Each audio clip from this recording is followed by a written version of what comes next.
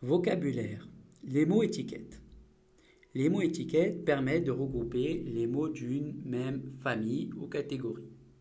Exemple chaussures, pantalon, pull, ce sont les mots de la famille des vêtements.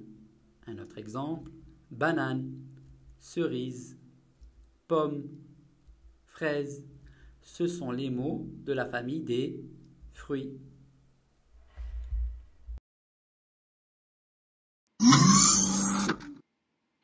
Bon courage et au revoir.